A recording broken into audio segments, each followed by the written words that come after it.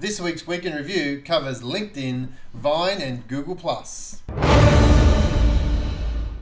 Hey everybody, Andrew McCauley here, and first up, we're going to talk about Google Plus.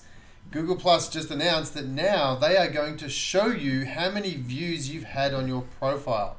Now, it's not just the number of views on your profile, but it's also the collective number of views that you've had on your posts, your images, your videos that you've been sharing, so that when you go to your profile now, just underneath your heading, you can see exactly how many views you've had for the different things all the way back from 2012, October 2012. So, what's the point of that? Well, it just gives you an indication of how you're going. So, if you're out there and you're seeing your numbers not increasing, then maybe it's time to check out how you can increase a lot more. So that's Google Plus looking at the views, the number of views that people have had on your profile and your activity on that platform. Also, this week, LinkedIn just announced that next week, April 14, that they are getting rid of the company products and services tab on your company page. So, if you have a company page on LinkedIn and you've put effort and time into creating products and services, you're going to find that is disappearing on April 14.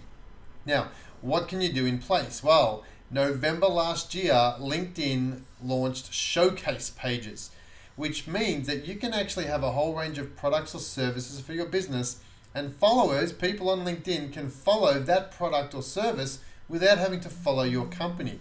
So for instance, if Microsoft have a, a product, let's say Windows, whatever it is, or Excel, they can have a product page where you can go and like that page, but you don't have to go and like Microsoft. If that makes sense, good.